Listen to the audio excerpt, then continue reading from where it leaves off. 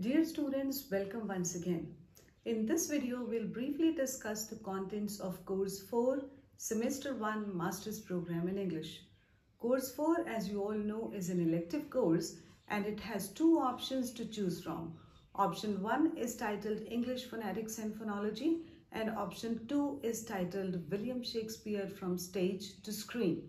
In option 1, titled English Phonetics and Phonology, you'll read about a number of concepts related with human speech mechanism in general and with the production of sounds of English language in particular. In this paper, we'll read in detail about how the sounds of English, which are technically called the phonemes, are articulated, how they are divided into different categories on the basis of their production, and they are called vowels, pure vowels or monophthongs, diphthongs, triphthongs, how they are pronounced, and how do we understand several other concepts such as syllable division, syllable identification, then intonation, assimilation, stress in individual words and in connected speech, etc. This particular paper is going to tell you in length about the production and articulation of all sounds of English language. In option 2 of the selective course, we'll read about William Shakespeare as a dramatist in particular. Though William Shakespeare is also very, very popular as a poet for his sonnets, but the focus in this particular course will be on reading William Shakespeare as a dramatist. We have been prescribed four plays written by William Shakespeare, the first of which is one of his four greatest tragedies, Hamlet. The second one is a comedy, A Midsummer Night's Dream. The third one is a historical play of Henry IV.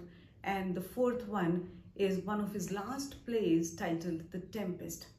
In addition to reading these four plays as a written text, we'll also discuss two films based upon two of these plays, Hamlet and The Tempest.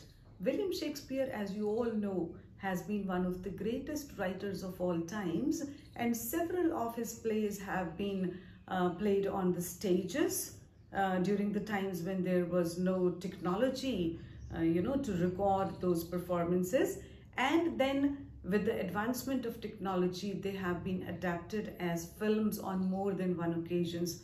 In this particular paper, we'll talk about the two uh, films that have been based on two of these plays, as I said earlier, and we'll see how the technological intervention has made William Shakespeare even more popular than perhaps he was at his own times, you know, as uh, these films have now reached all nooks and corners of the world, about how and what makes his plays very, very relevant even in this age and how technology has uh, interventioned and how technology has intervened to make the performances uh, more powerful, more subtle.